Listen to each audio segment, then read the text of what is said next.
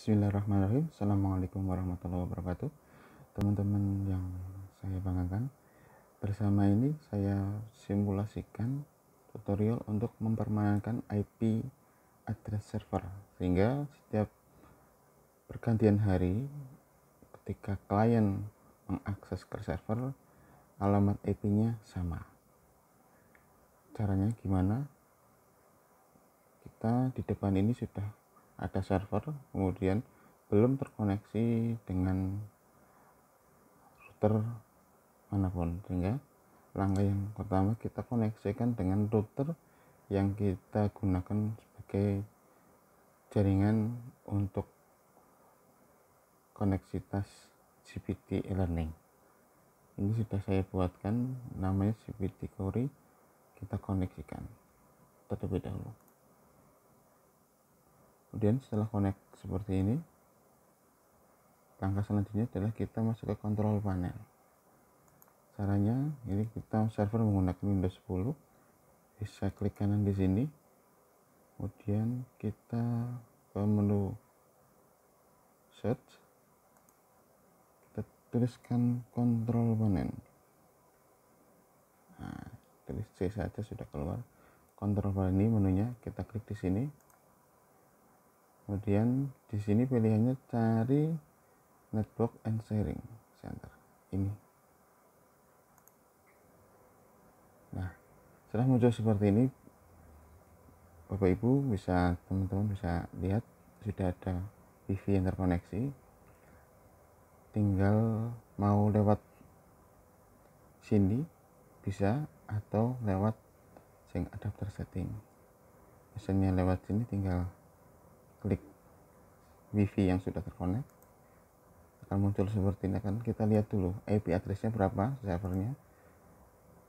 192.168.0.173 maka alamat IP ini yang akan kita permanenkan.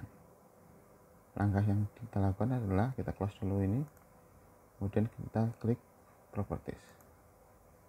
Kemudian kita cari internet protokol 4 internet protokol version 4 kita klik kemudian klik properties. Nah di sini kan masih automatically kita rubah use the following IP addressnya.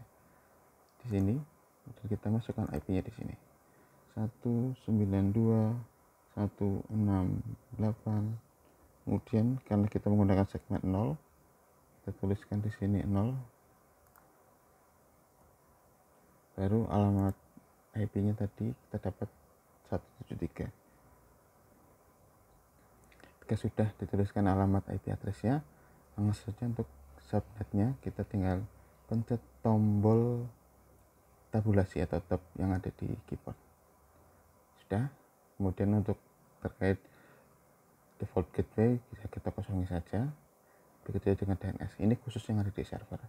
Cukup teman-teman setting hanya seperti ini. Setelah itu klik OK kemudian klik close. Klik close. Klik close. Kita coba buka browser.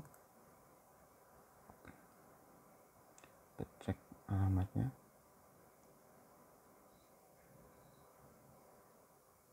Ya. alamatnya kita buka. 192 titik 168 titik 0 titik 173 jangan lupa untuk e-learning. Kita pilih portnya 8094 titik 2 8094 dan klik enter. Udah keluar. Jadi simple mudah. Tidak terlalu ribet untuk setting permanen IP address di server. Sehingga untuk klien di, menggunakan uh, laptop atau komputer atau HP khusus untuk jaringan saya nanti aksesnya tinggal mengetikkan IP 192 168 0 173 kira-kira hanya itu tutorial singkat saya. Mudah-mudahan bisa memberikan gambaran buat teman-teman yang lain. Saya akhiri. Assalamualaikum warahmatullahi wabarakatuh